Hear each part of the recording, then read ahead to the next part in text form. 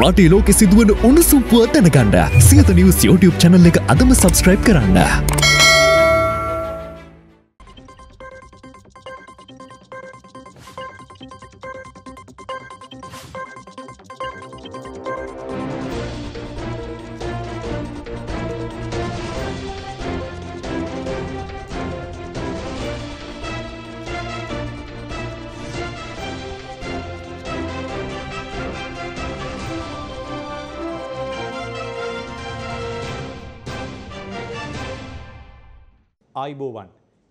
කාලීන ප්‍රවෘත්ති වාර්තාකරණයේ ප්‍රමුඛයා හරිදේ හරියටම කියන සියත රාත්‍රී ප්‍රවෘත්ති විකාශයයි මෙලෙසින් ආරම්භ වන්නේ.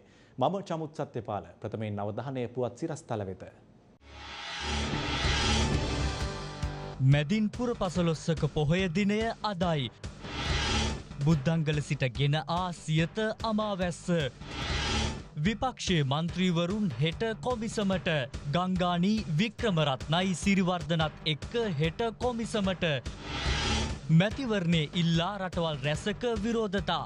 ජනමතයට පුංචි ඡන්දේ එක් ලක්ෂ පනස් දහසට අය කරන්නේ රුපියල් තුන් දහසකටත් අඩු බද්දක් සියබලා පිටිය කියයි. ලක්ෂ පනස්දහ කඩුක් ගන්න කෙනෙකින් මේ බද්දට අයිතිවෙන්නේ මාසකට රුපියල් තුන්දහසකට අඩු මුදලක්. රුපියල් ලක්ෂ හයක් වැටුප් ගන්න අයගේ සමාජ තත්ත්වය අලුත් ටැක්ස එකත් එක්ක බිඳ වැටෙන අයුරු අද සියතෙන්. ජිනීවා වල අපි ගැන විශේෂ සාකච්ඡාවක්. සජිත් සහ නවසීලන්ත මහකොමසාරිස් අතර හමුවක්.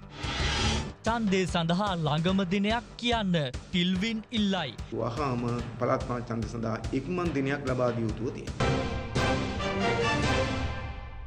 දේශීය ප්‍රවෘත්ති වෙතටයි ප්‍රථමයෙන් අවධානය. බෞද්ධ ඉතිහාසයේ වැදගත් සිදුවීම් රැසක් සටහන් වූ මැදින්පුර පසළොස්වක පොහෝ දිනය අදයි. යමා මහ පෙළහැර පෑම යශෝදරා දේවියට සඳකිඳුරු ජාතකයේ දේශනා කිරීම අදවන් දිනක සිදු වූ බවයි ශාසන ඉතිහාසයේ සඳහන් වන්නේ. සියත අමාවැස්ස පෝදා සජීව විකාශය මෙවර ඔබ වෙත ගෙනාවේ අම්පාර බුද්ධංගල ආරණ්‍ය සේනාසනයේ සිටයි. බෞද්ධ ඉතිහාසයේ සුවිශේෂී සිදුවීම් රැසක් සිදු වූ මැදින්පුර පසළොස්වක පොහොය දිනය අදයි. බුදුරජාණන් වහන්සේ ඥාති සංග්‍රහය පිණිස සිය ජන්මභූමිය වූ කිඹුල්වත්පුරයට වැඩම කරවීම ආරම්භ කරනු ලැබුවේ අද වැනි මැදින්පුර පසළොස්වක පොහොය දිනකයි. බුදුවීමෙන් දසවන මාසේ ශුද්ධෝදන පියරජුගේ ආරාධනයකට අනුව රජගහනුවර වේළුවනාරාමයේ සිට කිඹුල්වත් නුවරට වැඩම කරවීම අදවන් දිනක සිදු වුණා. බුදුරජාණන් වහන්සේ කිඹුල්වත්පුරයට වැඩම කරවීමෙන් අනතුරුව යමා මහ පෙළහර පෑම ශුද්ධෝදන රජුට වෙසන්ත්‍ර ජාතකය දේශනා කිරීම රාහුල කුමරු මහන කරවීම සහ මහ ප්‍රජාපති ගෝතමී දේවිය සෝවන් ඵලයට පත්වීම වැනි සිදුවීම් රැසක් අදවන් දිනක සිදු වූ බවයි බෞද්ධ ඉතිහාසයේ දැක්වෙන්නේ. මේ අතර මැතින්පුර පසළොස්වක පොහොය දිනය වෙනුවෙන් වූ සියත අමාවැස්ස පෝදා සජීව විකාශය අප මෙවර ඔබ වෙතගෙන ආවේ අම්පාර ඓතිහාසික බුද්ධංගල ආරණ්‍ය සේනාසනයේ සිටයි. අද පෙරපුරු හයට ආරම්භ වූ පෝදා සජීව විකාශයේ උවැසුවැසියන් අෂ්ටාංගශීලී පිහිටුවීම ඓතිහාසික බුද්ධංගල ආරණ්‍ය සේනාසනය ඇතුළු විහාර සේනාසන සංචිතයේ අධිපති පූජ්‍ය දීගපාපියේ සුසීමනායක ස්වාමින් වහන්සේ සිදු කළා. එතැන් පටන් ධර්මදේ දේශනා කාලින ධර්ම සාකච්ඡා ඇතුළු වැඩසටහන් රැසකින්ම සියත අමාවැස්ස පෝදා වැඩසටහන් මාලාව ඔබ වෙනුවෙන් පෙළගස්වා තිබුණා. අම්පාර ඓතිහාසික බුද්ධංගල ආරණ්‍ය සේනාසනයේ සිට ගෙන ආ සියතා මාවැස්ස පෝදා සජීව විකාශය අද පස්සුරුවේ උවැසි උවැසියන් සිල් පවාරණය කිරීමෙන් අනතුරුව නිමාවට පත් වුණා. විපක්ෂයේ මන්ත්‍රීවරුන් පිරිසක් හෙට මැතිවරණ කොමිසමේ නිලධාරීන් හමුවීමට නියමිත බව වාර්තා වනවා. ඒ පළාත් පාලන මැතිවරණය සම්බන්ධයෙන් සාකච්ඡා කිරීමටයි. එමෙන්ම මුදල් අමාත්‍යංශ ලේකම්වරයා රජයේ මුද්‍රණාලාධිපතිනිය සහ පොලිස්පතිවරයාවද හෙට දිනේ කොමිසමට කැඳවා තිබෙනවා. මැතිවරණය පවත්වන ලෙස රජයට බල කරමින් ලොවපුරා වෙසෙන ශ්‍රී ලාංකිකයින් වීදි බැස සිය විරෝධය පළ කරමින් සිටින බවයි වාර්තා වන්නේ. පළත් පාලන මැතිවරණය පැවැත්වෙන දිනය ප්‍රකාශයට පත් කිරීම සම්බන්ධයෙන් සාකච්ඡා කිරීම සඳහා විපක්ෂයේ මන්ත්‍රීවරුන් පිරිසක් හෙට දිනේ මැතිවරණ කොමිෂන් සභාව හමුවට පැමිණීමට නියමිතව තිබෙනවා. විපක්ෂයේ නියෝජනය කරන මන්ත්‍රීවරුන් නව දිනෙකුගේ අත්සනින් යුතුව මැතිවරණ කොමිසමේ සභාපතිවරයා වෙත ලිඛිතව අදාළ හමුවීම පිළිබඳව දැනුම් දී ඇති බවයි වාර්තා වන්නේ. ශ්‍රේෂ්ඨාධිකරණ නියෝගයට අනුව පළත් පාලන මැතිවරණය පැවැත්වීමට අවශ්‍ය පියවර ගන්නා ලෙසයි ඔවුන් කොමිසමෙන් ඉල්ලා ඇත්තේ. පාර්ලිමේන්තු මන්ත්‍රීවරුන් වන විජිත හේරත් මහාචාර්ය ජීඑල් පීරිස් රංජිත මධ්‍යම බණ්ඩාර මනෝ ගණේෂන් රිෂාඩ් බදියුදීන් රව් හකීම් ශානක්‍ය රාසමානික්‍යම් එම්.ඒ. සුමන්තිරන් සහ දෑසිරි ජයසේකර අදාළ ලිපිය සඳහා අත්සන් කර ඇති බවට තොරතුරු වාර්තා වනවා. මේ අතර පළත් පාලන මැතිවරණය සම්බන්ධයෙන් සාකච්ඡා කිරීම සඳහා මුදල් අමාත්‍යංශ ලේකම්වරයා රජයේ මුද්‍රණාලාධිපතිනිය සහ පොලිස්පතිවරයා හෙට දිනේ මැතිවරණ කොමිෂන් සභාව වෙත කැඳවා ඇති බව වාර්තා වනවා. මැතිවරණයට අවශ්‍ය කටයුතු සම්බන්ධයෙන් සැලසුම් කිරීම සඳහායි අදාළ නිලධාරීන් කැඳවා ඇත්තේ. මැතිවරණය පවත්වන ලෙස බල කරමින් ලොව පුරා වෙසෙන ශ්‍රී ලාංකිකයින් මෙවන විට වීදි බැස සිය විරෝධය පළ කරමින් සිටිනවා. මේ ඕස්ට්‍රේලියාවේ මෙල්බර්න්හි පැවති විරෝධතාවයයි. ජනමතයට පුංචි ඡන්දේ ඡන්ද නැතිව වෙවුලනවද වෙවුලනවද මෙම විරෝධතාවය සංවිධාන කර තිබුණේ Australian Foundation for Save Sri Lanka සංවිධානයයි. මේ අතර ස්වීඩනයේ වෙසෙන ශ්‍රී ලාංකිකින් පිරිසක්ද විරෝධතාවයක නිරත වුණා. ඒ ශ්‍රී ලංකාවේ ප්‍රජාතන්ත්‍රවාදය ආරක්ෂා කර දෙන ලෙස රජයට බල කරමින්. අනලෝබී රනිල්ලොවේ සල්ල නැතුව තමයි ගැටේ සල්ලි නැතිලු පොරු අකුලේ ජන බලයට යටයි ඔහේ ජනතාවනි මේ අහන්න පුංචි ඡන්දේ ඉනා ගන්න ප්‍රජාතන්ත්‍රේ ඉනා ගන්න අපිත් එක්ක එකතු වෙන්න අපිත් එක්ක මැතිවරණය වහා පවත්වන ලෙස රජයට බල කරමින් ඉතාලිය වෙසෙන ශ්‍රී ලාංකිකයින් එක්ව විරෝධතාවයක නිරත වුණා. ඉතාලියේ මිලානෝ නගරය ෆෙරන්සේ නගරය හා ජෙනෝවා නගරවලදී පෙළපාලි සහ උද්ඝෝෂණ පවත්වමින් ඔවුන් මෙලෙස සිය විරෝධය පළ කරනු ලැබුවා. තමයි ගැටේ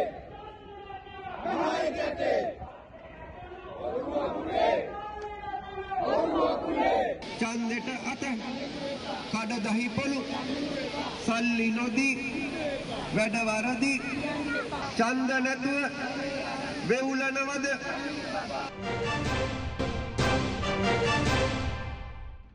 රුපියල් එක් ලක්ෂ පනස් දහසක වැටුපක් ගන්න පුද්ගලයෙකුගෙන් රජය අය කරන්නේ රුපියල් තුන්දහසකටත් වඩා අඩු බද්දක් බව මුදල් රාජ්‍ය අමාත්‍ය රංජිත් සියඹලාපිටිය පවසනවා. මෙරට වැඩ කරන ලක්ෂ හතලිස් හයක් වන සේවකයින්ගෙන් ලක්ෂයකට වඩා වැඩි වැටුපක් ගන්නේ එක් ලක්ෂ විසි දහසක් බවයි ඔහු පෙන්වා දෙන්නේ. දෙහියෝවිට කනංගම ප්‍රදේශයේ පැවති වැඩසටහනකින් අනතුරුව මාධ්‍ය වෙත අදහස් දක්වමින් ඔහු මේ බව ප්‍රකාශ කළා. වෙනුවට බද්ද අපේ රටේ තිබුණ 2019. ඒක නැති කිරීම නිසා බදු ලිපිගොනු ලක්ෂ 15ක් අවලංගු වුණා. දැන් අපි මේ නැවත ඒක තමයි ඇති කරන්නේ. හැබැයි රටේ තියෙන අමාරුව නිසා අපි අර තිබිච්ච සීමාවන් තව පොඩ්ඩක් උඩට අරන් තියෙනවා. අපේ රටේ කොච්චරක් ඉන්නවද මේ වැඩ කරන සේවක පන්තිය රජයේ රාජ්‍ය නොවන පෞද්ගලික ලක්ෂ 46ක් ඉන්නවා. ඔය ලක්ෂ 46න් 1,20,000ක් තමයි මාසෙකට රුපියල් ලක්ෂයකට වැඩිය වැටුප් ගන්න. 2.6ක්. දැන් මේ අයගෙන් තමයි මේ බද්දක් ගැන කතා කරන්නේ සමස්ත ජනතාව වෙනුවෙන්. ඔය 1,20,000 හෙනුත් 143ක් ලක්ෂෙත් 1,50,000ත් අතර වැටුපක්. ඒතොර 1,50,000ක වැටුප් ගන්න කෙනෙක්ගෙන් මේ බද්දට අයිති වෙන්නේ මාසයකට රුපියල් 3,000කට අඩු මුදලක්. රජය මොනවද මේ අරන් උත්සාහ කරන්නේ? දැන් බලන්න අපි මාර්තු සහ අප්‍රේල් මාසවල දෙන්න සූදානම් වෙනවා පවුල් 28 ලක්ෂයකට හාල් කිලෝ 10 ගන්න. මේ මිනිස්සුන්ට ජීවත් වෙන්න බෑ. එක පවුලක හතර දෙනෙක් හිටියොත් අඩුම ගානේ 1 කෝටි 12 ලක්ෂයක් සමාජිකයන්ට තමයි මේ උදව් කරන්න යන්නේ. සමස්ත ජනගහනයෙන් භාගයකට වැඩි ප්‍රමාණයක්. රුපියල් විසිපන්දහසක වැටුපක් ලබන අයෙකුට මාසය පුරාම වේල් දෙකක් කාලා රුපියල් එක්දහස් පන්සීයක් ඉතිරි කර IMF එක ඉල්ලනව නම් ඒකෙන් බදු ගෙවන්නත් පුළුවන් බව අප ඊයේ පෙන්වා දුන්නා. අද අපේ මාතෘකාව ලොකු පඩිගන්න අයට ලොකු බදු ගැහූහම මොකද වෙන්න කියන එක. රුපියල් විසි පන්දහක වැටුපක් ගන්න අයකුට මාසේ දින තිහම උදේට පානුයි පරිප්පුයි කාලා දවල්ට මේ වෙජිටබල් බත් එකක් කාලා නේද නාන්නෙත් දත්මදින්නෙත් රෙදි හෝදගන්නෙත් නැතිව රෑට හුලම්බීල නිදාගත්තොත් රුපියල් එක්දස් පන්සීයක් අර විසි පන්දාහෙන් ඉතුරු කරගන්ට පුළුවන් කියලා ඊයේ අපි ගණන් හිලව් ඇතුම පෙන්වා නේද. දැන් ඒ ඊයේ ඒ ප්‍රවෘතිය නැරඹුවේ නැත්නම් ආයේ ඒක බලන්න හොඳේ දැන් අද කතා කරන්න යන්නේ ටිකක් ලොකු පඩියක් ගන්න ගන්න අයකුගේ සැබෑ ආදායම ගැන. මේ පෞද්ගලික ආයතනයක ඉහළ විදාහයක නිලධාරීකුගේ වැටුප. මෙසිියල්ල ඔහුගේ වැටුපත් එක්කම සැබෑම ඔහුගේ ජීවිතය තොරතුරුයි. වැටුප රුපියල් පන්ලක්ෂ විසි දෙදාහයි. ඔහුට ලැබෙනවා ප්‍රවාහන දීමනාවක් රුපියල් පනස්තුන්දාහක. ඊට අමතරව ඔහුට ලැබෙනවා සංග්‍රහදීමනාවක් රුපියල් හැත්ත දාහක. දැන් ඒ අනුව ඔහුට ලැබෙන සම්පූර්ණ වැටුප ඒඇනේ පන්ලක්ෂ විසි දෙදාහයි පනස්තුන්දාහයි හැත්තදාහයි ඔක්කොම එකතුන හම ඔහුට ලැබෙනවා හයලක්ෂ හතලිස් පන්දාහක වැටුපක් මාසික වැටුපක්. දැන් මේ හයලක්ෂ හතලිස් පන්දහට එදා බදු ගහල එකැන පරණ බද්ධ ගහලා අන්තිමටම ඔහුගේ අතට ලැබුණේ හයලක්ෂ විසි දෙදාහයි. එතකොට ඔහුගේ මාසික සැබෑ ආදායම හයලක්ෂ විසි දෙදාහයි. දැන් මේ විදාහයක නිලධහරයා යම් සමාජ තලයකන ජීවත්වෙන්නේ ඔහු සෑමවිටම තම දරුවන්ටත් තමන්ට වඩා යහපත් ජීවිත මට්ටමක් ලබා දෙන්නටන සැලසුම් කරන්නේ නේද එකනේ හැම අම්ම කෙනෙක්ගෙම තාත්ත කෙනෙක්ගෙම බලාපොරොත්තුව ඒ අනු ඔහුගේ පළමු ඉලක්කය වුණේ නිවසක් ඉදිකර ගැනීම. තමන්ගේ අතට රුපියල් ලක්ෂ හයක් විතර මාසිකව ලැබෙන නිසා නිවසක් ඉදිකිරීමට ඔහු බැංකුණයක් ගන්නවා. බිරිඳටත් රැකියාවක් නෑ හොඳේ පාසැල් අධ්‍යාපනය හදාරන දරුවන් තුන් දෙනයි. දරුවන් තුන් දෙනාවම යවන්න වෙලා තියෙන්නේ ජාත්‍යන්තර පාසැලකට. මොකද හේතුව රජයේ හොඳ පාසලකට ඇතුළු කරගන්ට ඔහුට තිබුණු අපහසුකම බැරිකම හරිනි දැම් බලම ඔහුගේ අනිවාර්ය වියදම් ටික ඔන්න දැන් ඔහු නිවස ඉදිකරන්න අරගෙන තියෙන මුදලට මාසිකව බැංකුවට ගෙවන්න ඕනේ රුපියල් තුන් ලක්ෂ විසිදාහක්. හරිද ඔය දැම් මේ මෑතකති වැඩිවෙච්චි පොලියත් එක්ක තුන් ලක්ෂ විසිදාහයි. එතකොට මේ දරුවන්ට ඔහු ගෙවනවා මේ පෞද්ගලික පාසැල් ගාස්තු ලෙස රුපියල් හැටදාහක් රුපියල් හැට දහක් ගෙවනවා. ඊට අමතරව දරුවෝ තුන් දෙනෙකුට ඉංග්‍රීසි භාෂාවෙන් ඉගෙන ගන්න තරුව තුන් දෙනාටම විෂය දැනුම දෙන්න ඔහුට සිද්ධ වෙලා තියෙනවා මාසකට රුපියල් අනුදාහක් අනුහතර දහක් විතර ටියෂන් ෆීස්වල්ට අයින් කරන්න. හරද ඉළඟට විදුලි බිල ගෑස් සහ ජලබිල රුපියල් තිස් පන්දහක් විතර එනවා. දැන් දල වශයෙන් ඔහුට මාසකට ඕන වෙනවා වියදමට ඒ මේ වියදං කළ යුතුමයි.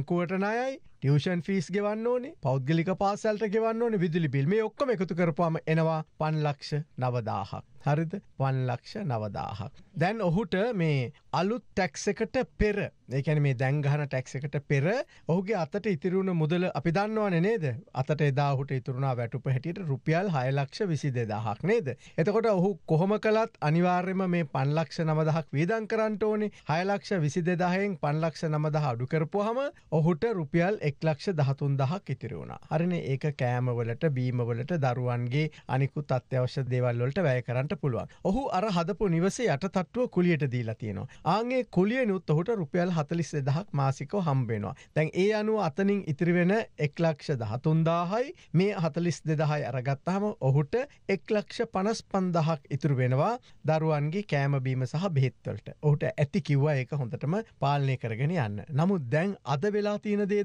දන්නවාද. අද වෙලා තියෙන දේ ඇහුවොත් එහෙම ඔබට පුදුම හිතේවේ. ඒ අනුව දැම් මේ අලුත් ටැක්ස එකක් ගැහුවනේ දැන් අලුත් ටැක්ස එක අර ඔහුගේ මූලික වැටුප රුපියල් හයලක්ෂ හතලිස් පන්දහට වැදුනා දැන් අද අතට ලැබෙන්නේ කියද දන්නවද අලුත් ටැක්ස එක කපලා අද අලුත් ටැක්ස එක රුපියල් දෙලක්ෂ තිස් සතර දහක් වදිනවා. ඒ අනුව හයලක්ෂ හතලිස් පන්දාහෙන් දෙලක්ෂ තිස් සතර දහක් අඩුනහම දැන් ඔහුට අතට ලැබෙන්නේ රුපියල් හාරලක්ෂ එකලුස් දාහයි. රුපියල් හාර ලක්ෂ කොළොස් දාහයි. හරිද දැන් මෙතැන්ට එකතු කරන්නකො අරගේ යට මහල දීලගන්න කුලිය එතකොට එකැන හාරලක්ෂ එකොළොස් දහට හතලිස් දෙදහක් එකතු කරමු. ඒ එකතු කරපාම ඔහුට හාරලක්ෂ පනස් තුන්දාහක් ලැබෙනවා දැන් අතට ඔන්න දැන් අතේ ඉතුරෙන්නේ හාරලක්ෂ පනස්තුන්දායි. හරිනි දැන් ඔහුගේ වියදම කොච්චරද මාසේ පන්ලක්ෂ නමදාහයි. හරිද? පල්ලක්ෂ නමදහයි. අතට හම්බෙන්න දැන් කියද? හාරලක්ෂ පනස්තුන්දාහයි. නේද? දැන් අන්තිමට ඔහුට මොකද වෙලා තියෙන්නේ? පල්ලක්ෂ නමදහක් වේදං කරන්න ඕනේ අතට හම්බෙන්නේ හාරලක්ෂ පනස්තුන්දාහයි. අද ඔහු පනස් හයදහ ගානේ සෑම මාසයකම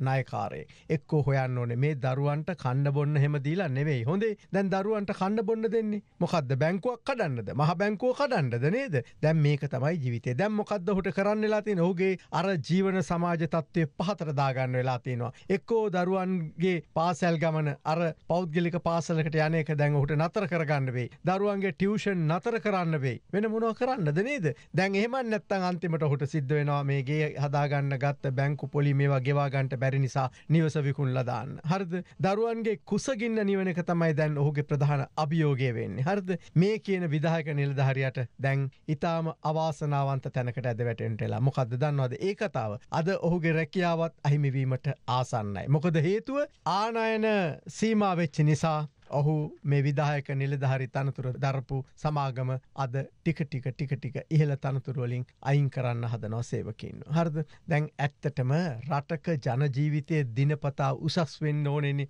දිනපතා මාස් පතා අවුරුදු පතා උසස් වෙන්න ඕනෙනි මිනිස්සු ඉන්න තැනින් අඩියක්කෝ ඉහලට ඒ ජීවිත ඔසවා තබන එකනේ පාලකින්ගේ යුතුකම වගකීම නේද ඒත් අද ලංකාවේ වෙන්නෙම ලංකාවේ වුණේම මැති ඇමති සියල්ලෝ වරප්‍රසා ප්‍රසාද සහිත තව තවත් උසස් ජීවිත ගත කරද්දී. උසස් ජීවිත උර්ම කරගන්න සටන් කරද්දි. උසස් ජීවිත උර්ම වෙලා තිබුණු මිනිස්සුන්ගේ ජීවන රටාවන් පෙට්ටි කඩේට ඇද වැටමින් තිබෙන බව තමයි මේ කතාවෙන් අප තේරුම් ගත යුත්තේ.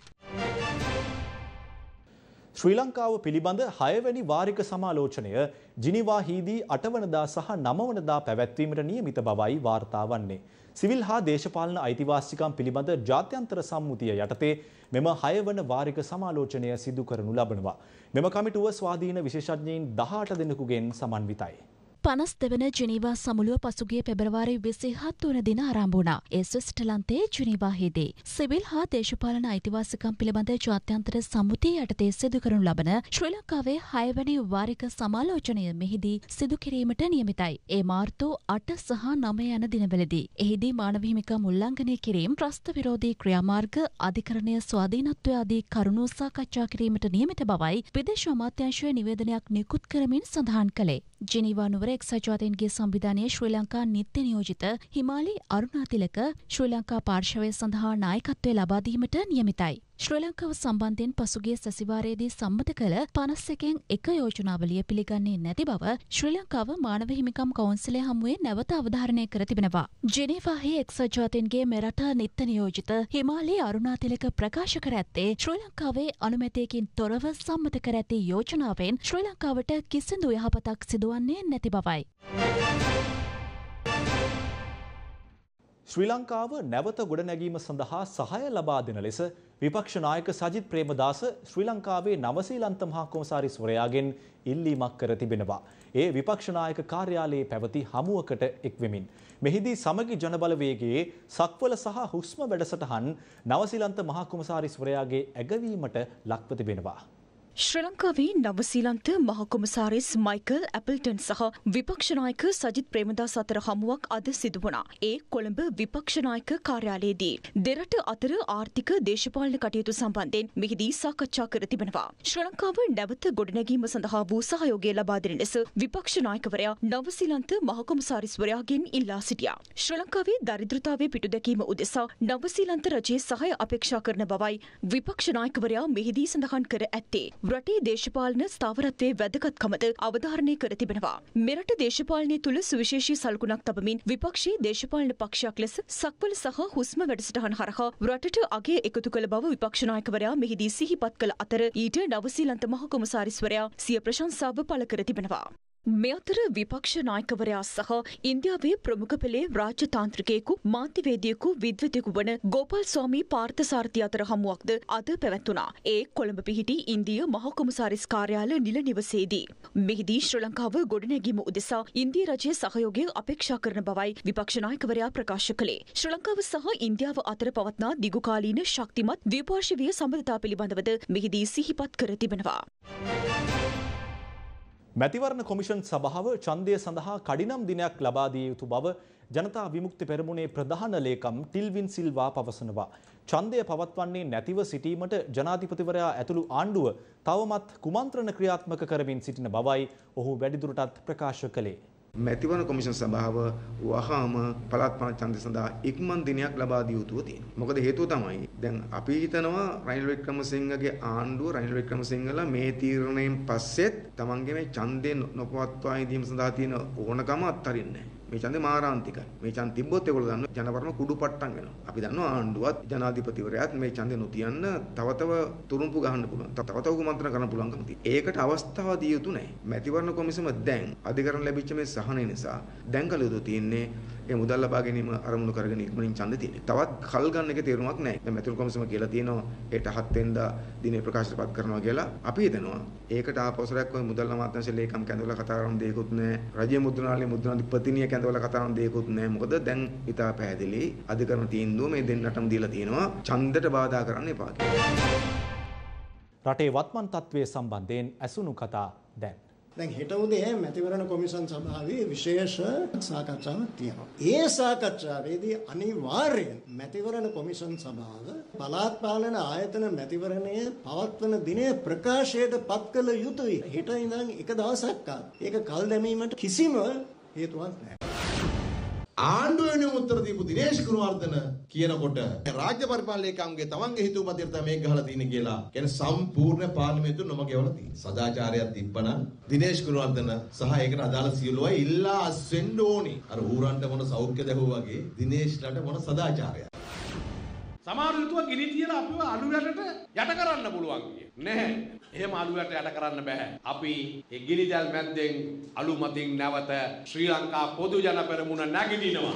ඒ නැගිටින එක නවත්තන්න හම්බ වෙන්නේ හොඳ රටක් තමයි අපි බාර දුන්නේ. බාණ්ඩ වින පාලනය කරලා මේ පටු දේශපාලනයත් එක්ක හිතවත් මිනිසුන්ගේ අවශ්‍යතා ඉෂ්ට කරන්න ගිය නිසා හිටපු ජනාධිපතිතුමා එයා නොදැනුවත්වම මේ මහා අගාධේ වැටුණ විතරක් නෙමෙයි රටේ ඉන්න ලක්ෂ 221ම ඒකට ඇදලා දැම්මා. මැතිවරණ නීතියට අනුව නම් මගේ හැඟීම 8 වෙනිදා ඒගොල්ලෝ දිනේ කියනවා නම් දවස් 21කට පස්සේ දිනේ කියන්න ඕන. ඒ කියන්නේ අප්‍රේල් මාසේ දෙවෙනි සතියේට එන්න ඕන කියලා මම හිතනවා වෙනත් කාරණාවක් සිද්ධ නොවුනොත්. අපි හිතමු මැයි මාසේ කියලා. කමක් නැහැ අපි ලෑස්ති වෙන්න. වත්මන් ජනාධිපති රනිල් වික්‍රමසිංහ මැතිතුමාගේ වැකියක් මාගේ මේ ව්‍යායාමය රජ පවුලක් තනන්න නොව හැම පවුලක්ම රජ කරවන්නයි. රනිල් වික්‍රමසිංහ කියන දූරදර්ශී නායකයා සමග අමාරු කාලේ පසු කරමින් රටේ ආර්ථික දැක්මක් ඇති වැඩපිළිවෙලකට යන්න කළමනාකරණය කරගෙන තියෙනවා. ඒ පොතත් සමගින් සියත රාත්‍රී ප්‍රවෘත්ති විකාශය නිමාවට පත්වෙනවා යළිත් අප ඔබ හමුවන්නේ හෙට උදෑසන ප්‍රවෘත්ති විකාශය සමගින් ඔබට සුවදායි රාත්‍රයක්. දෙනපතා අලුත් වීඩියෝ සහ ප්‍රවෘත්ති නැරඹීමට ඉහත බටන එක ක්ලික් කර සියත TV සබස්ක්‍රයිබ් කරන්න.